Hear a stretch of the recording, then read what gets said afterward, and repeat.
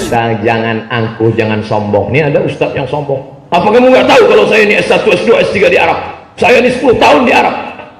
Pak Doktor, kalau cuma lama di Arab, onta lebih lama. Ente di Arab lama-lama ngapain aja? Maka yang penting tuh isi kepalamu.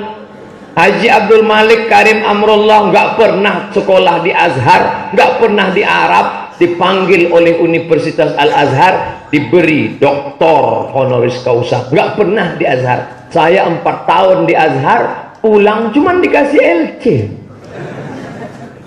Marah saya, dia nggak pernah kok dikasih doktor. Saya empat tahun nahankan musim panas kepanasan, musim dingin kedinginan. Ngantrinya minta ampun pulang-pulang dikasih LC Abdul Somad LC lagi cemas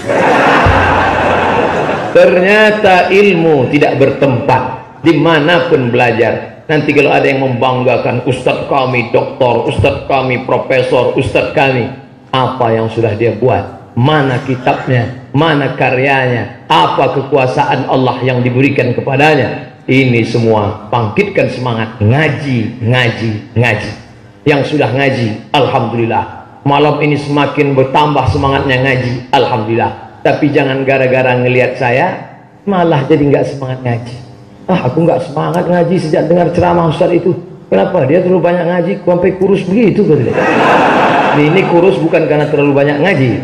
Oleh sebab itu datang pengajian-pengajian siapa pun selama dia ahlu sunnah wal jamaah untuk menguatkan keyakinan. Sekarang macam-macam seliweran pemikiran sekuler, liberal, PKI, komunis, macam-macam yang merusak. Kalau tak kita jaga dengan benteng-benteng ini luar biasa. Assalamualaikum warahmatullah. Assalamualaikum warahmatullah. Apa kabar Pak? Jangan salah ini preman baru tobat